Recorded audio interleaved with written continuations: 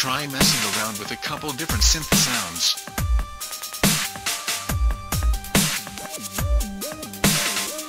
Of course, it is absolutely essential that you make your new drop really fucking heavy.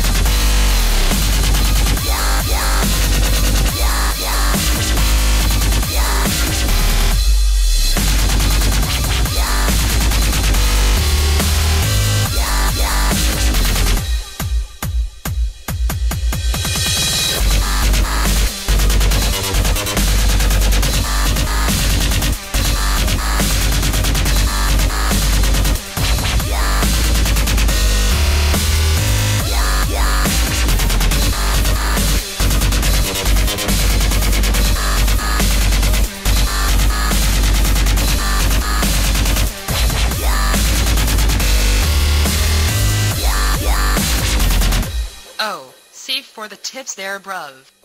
Can you tell me what program I should use?